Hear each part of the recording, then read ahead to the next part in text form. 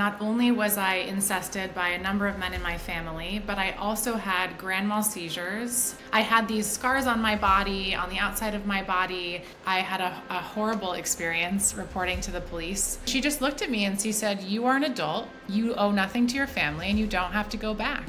And within a few months, the memories resurfaced.